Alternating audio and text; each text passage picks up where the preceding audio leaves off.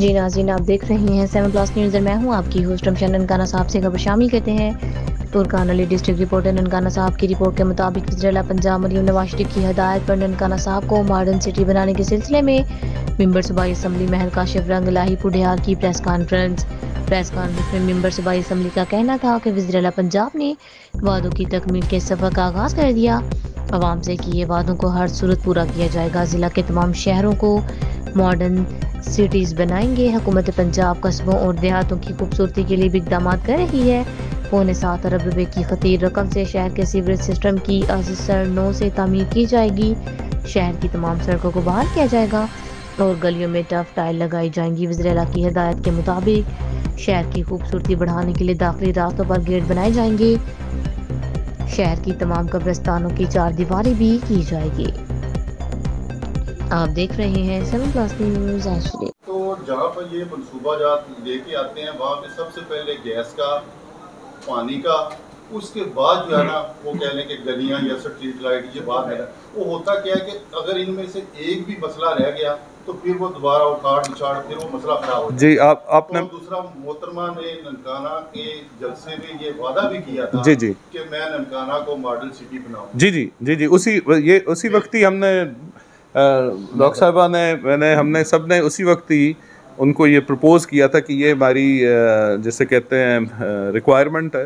تو اسی چیز کو لے کے ہی آگے چل رہے ہیں۔ باقی آپ نے جو بات کی ہاں ایک سیکنڈ میں بتا دوں کہ ابھی آپ نے بالکل صحیح کہا یہ ماسٹر پلاننگ ہوتی ہے انفارچونیٹلی ہمارے ملک میں لاہور جیسے شہروں کے اندر بھی ابھی کوئی ماسٹر پلان نہیں ہوتا کچھ بھی کنسٹرکٹ لیکن فار ایگزامپل آپ کو پتہ ہے کہ یعنی یہ سارا کچھ سیاسی قیادت کے انڈر ہی ہونا۔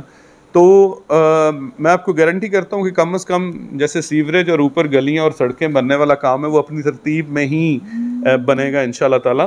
اور پانی کے مسئلے کے والے سے میں بتا دوں، میں مس آؤٹ کر گیا۔ اس کے اندر انہوں نے تھرٹی فائیو پینتیس آر او پلانٹس جو ہیں وہ پرپوز کیے گئے ہیں، وہ تاکہ جگہ جگہ پہ صاف پانی جو ہے وہ مہیا ہو سکے۔ اور وہ جو پائپ لائن والا چکر ہے، وہ تو اب وہ سیدھا ہو گیا، وہ نہ کامیاب ہونا، اس کے اوپر بڑی ڈسکشن ہوئی تھی کہ چندر کوٹ سے پائپ لائن آ رہی ہے اور یہ وہ تو وہ وہ انہوں نے خود ہی وہ بہت بڑا منصوبہ تھا لیکن انفارچونیٹلی نیلی کی نظر ہو گیا میں تو کہوں گا۔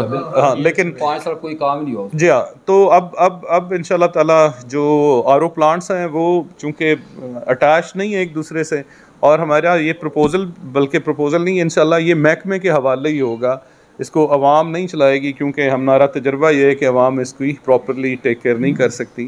باقی گیس کے حوالے سے سفتر صاحب، آپ کو بہتر بریف کر سکتے ہیں کیونکہ وہ فاق کے پرویو میں آتا ہے، تو آپ وہ بھی بتا دیں۔ لیکن یہ جو ٹف ٹائل والا خاص طور پہ جو پرپوزل دیا گیا نا، وہ سوئی گیس کی متوقع ایکسپینشن کو مد نظر رکھتے ہوئے ہی رکھا گیا۔ تاکہ اگر فرض کریں کل کو پائپ لائن اللہ کرے پاکستان کے اتنے وسائل ہو جائیں کہ اور گیس جو ہے ہم امپورٹ کر سکیں اور نئی پائپ لائنز ڈل سکیں۔ تو پھر یہ ہوگا کہ اگر ٹف ٹائلز لگی ہوں گی تو وہ بآسانی ایز اٹ از اس کو بنوایا جا سکتا ہے جی جی بسم اللہ الرحمن الرحیم۔ جس طرح میرے بھائی نے سوال کیا کہ جو کہ جو مرکز کے جو ادارے ہیں، اس میں بالکل ہم شور کرتے ہیں، آپ کو پچھلے دنوں میں کچھ ایریز میں جو لوہے کے پیپ تھے، ان کو ہم نے چینج کروایا ہے پلاسٹک کے لگوا دیے ہیں۔ کچھ ایریز کو ہم نے دوبارہ سے اس کا سروے ہو گیا ہے۔ چند دنوں میں وہ ہم کو پیپ مل جانا ہے۔ ان کے ان جو فنڈ آنا ہے صبح سے آنا ہے اس سے پہلے پہلے وہ انشاءاللہ وہ سسٹم صحیح ہو جائے گا سوئی گیس کا۔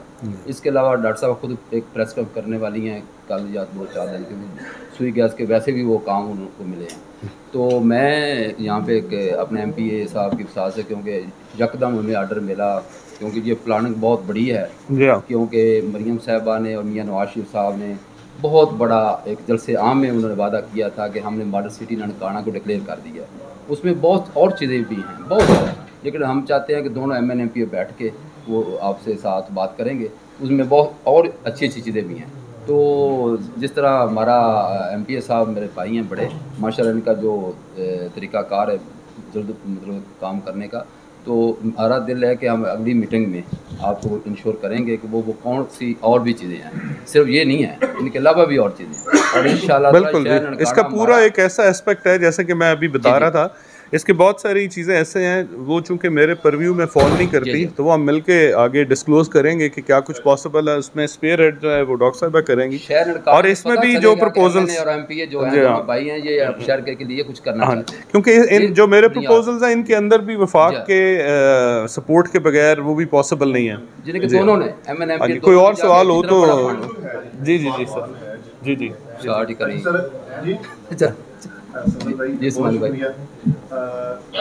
پہلی بات یہ ہے کہ جی بڑی خوشی کی بات ہے کہ پاکستان مسلم لیگ نے جو وعدے کیے ہیں عوام کے ساتھ ان کو پورا کرنے کا یہ بہت بڑا انیشیٹو ہے اور پہلا قدم تھینک یو اور میں سمجھتا ہوں کہ ڈسٹرکٹ ہیڈ کوارٹر کے اوپر اتنا بڑا پروجیکٹ لانا یہ مسلم لیگ نون کی بہت بڑی جو ہے نا کاش سوال میرا یہ ہے کہ آپ نے کہا ہے کہ ننکانہ صاحب کے اندر یہ جتنے بھی پروجیکٹس آپ لے کے آ رہے ہیں اس پہ دو باتیں میرا سوال یہ ہے کہ آپ پارک کا منصوبہ کریں گے تو اس کے لیے ویکیوپس پراپرٹی بورڈ کی لینڈ ہے کہیں بھی لینڈ نہیں ہے جہاں جی۔ آپ ماڈل سٹی اگر آپ ڈی ایچ کیو کے اندر